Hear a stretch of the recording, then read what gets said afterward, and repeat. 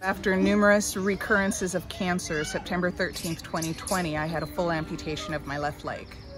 It's been seven and a half months. I have my prosthetic leg now, and I will be returning back to the Oakland Zoo as commissary supervisor uh, June 1st.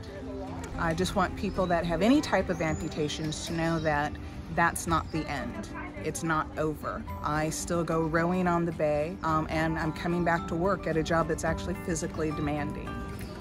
It is overwhelming. It's a lot to take in, but I love what I do. I love this job and my whole focus was what do I have to do to come back to it? So I think if you have something that you really truly enjoy doing, it's just a matter of making a new normal for it.